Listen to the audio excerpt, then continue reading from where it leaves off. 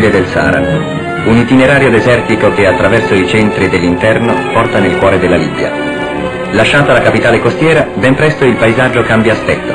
Sembra impossibile che alle porte di una moderna città la natura presenti un volto così desolante. Ecco vista dall'alto la zona del Jebel, l'altopiano tripolino.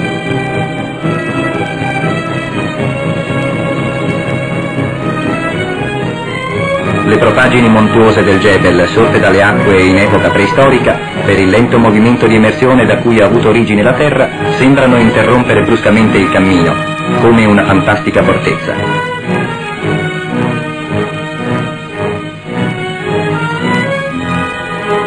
La strada si fa ora più stretta. Ecco Bukeilan, l'oasi dai radi ciuffi di palme. Si inizia la scalata vera e propria della montagna. Ma anche qui la natura è stata vinta dall'opera tenace dell'uomo. La strada degli Alpini, così chiamata anche ora perché fu costruita dai soldati della montagna, si snoda in strette serpentine chiusa tra le rocce. Su questi gradoni né un albero né un segno di vegetazione.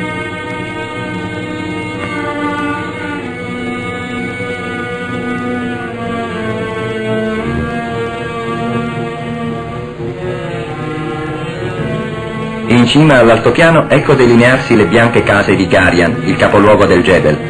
Pur distando appena 90 km dalla costa, la cittadina presenta un aspetto diverso da quello dei paesi di pianura. È il primo centro berbero che si incontra andando verso l'interno. La razza berbera si differenzia dalle altre razze musulmane per una maggiore severità nei costumi e per un rigoroso attaccamento alla sacra legge.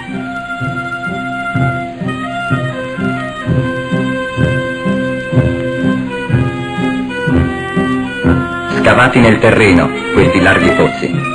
Sono le abitazioni trogloditiche in cui vivono gli indigeni per ripararsi dal freddo in inverno e dal caldo in estate. Un rialzo di terreno a breve distanza dall'apertura indica l'ingresso. La corte è il centro della casa, in cui si svolge la vita familiare. La terra sembra spoglia e desolata. È invece tutta una zona di case trogloditiche, in cui pullulano centinaia e centinaia di persone. Una caratteristica attività degli abitanti del luogo è questo curioso sistema per fare le balle di paglia. La paglia viene messa in una specie di pigiatrice. Un cammello girando intorno e trascinando un palo collegato con la rudimentale macchina provoca la stretta pigiatura. Molto semplice e ingegnoso, no?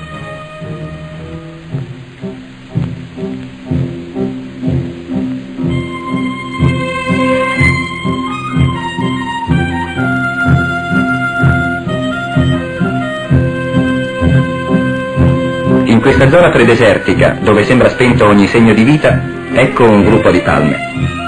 Dove ci sono queste piante africane vuol dire che sicuramente c'è l'acqua, pura e fresca. E credete pure, dopo aver percorso chilometri e chilometri sotto il sole infuocato, il fresco zampillo di una sorgente sembra proprio un miracolo.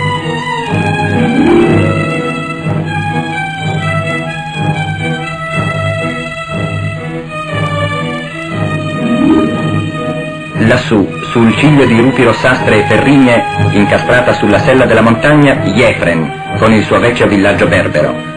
Il paese è celebre per le eroiche gesta di un berbero puro, Guma Ben Khalifa, che fu il capo verso la metà dell'Ottocento della lotta contro i turchi invasori. Questi non riuscivano ad avere ragione dell'indemoniato ribelle, che con pochi uomini fanatici li sorprendeva e li decimava senza pietà. Solo il tradimento pose fine ai suoi giorni ma nelle valli si racconta come una leggenda la storia di questo corsaro del Jebel. Il caratteristico e moderno albergo offre una confortevole ospitalità all'assetato turista.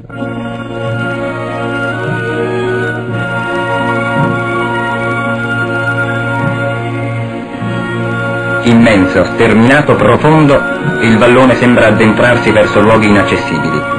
Il sole batte implacabile su questa terra infuocata, dove sembra spento anche ogni segno di vita.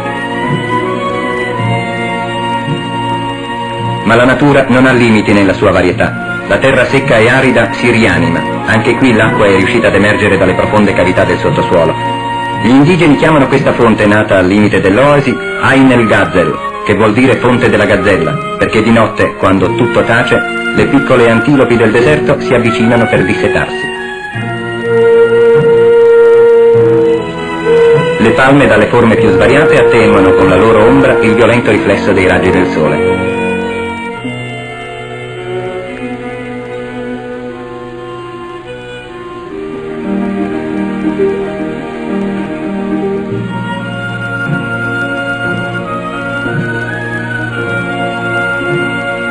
Lasciata questa piccola oasi, il paesaggio assume nuovamente il suo aspetto secco e arido. Arrampicato in cima a un cucuzzolo, ecco Nalut, il più importante centro berbero. Nel disordine della pietraia in rovina, quasi schiacciato contro il monte, il castello berbero si erge minaccioso. Un tempo sede dei signori della montagna e del deserto, si è ora trasformato in una pittoresca banca. I buchi che sembrano formare un alveare costituiscono il deposito delle provviste e dei valori. Ogni famiglia ha il suo cubicolo. Non c'è bisogno di guardiano. Per questa gente la reciproca fiducia è la maggiore garanzia. La città berbera, ora semidistrutta, più dalle forze della natura che da quelle dell'uomo, è circonfusa di leggende. Si narra che i berberi resistettero per mesi e mesi all'assedio dei turchi, senza viveri e senza armi. Alla fine preferirono morire tutti piuttosto che arrendersi. Vicino alle rovine, anche qui un moderno e confortevole albergo. Spinti dai venti a lasciare il dorso della montagna, gli indigeni si sono radunati in questa piccola conca, dove è sorta la nuova cittadina. In queste vie si svolge la vita degli abitanti e si combinano gli affari. Nei valloni sprofondati sotto precipizi, le acque e le numerose sorgenti alimentano piccole strisce di oasi. Qui i ragazzi portano le bestie ad abbeverarsi.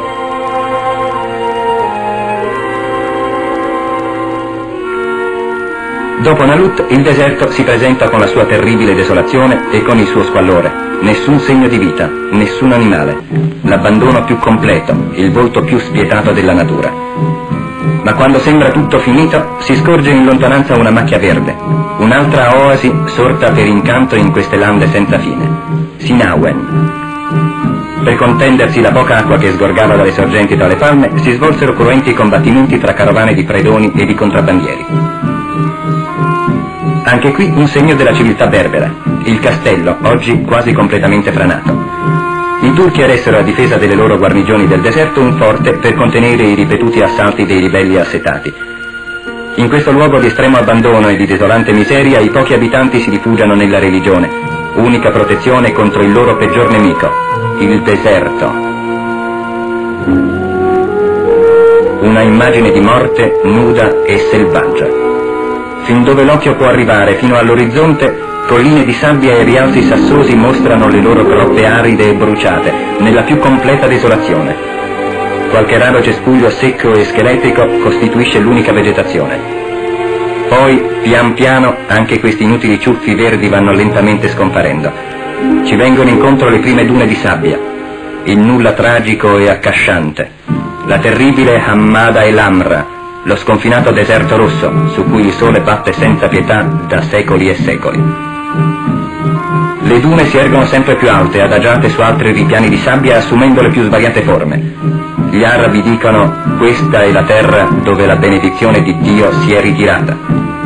Il Ghibli è qui un signore incontrastato, a suo piacimento può far crescere una duna, abbatterla o addirittura trasportarla in un altro posto. È l'oceano sabbioso, più terribile di quello marino perché questo è fermo, immutabile nel tempo.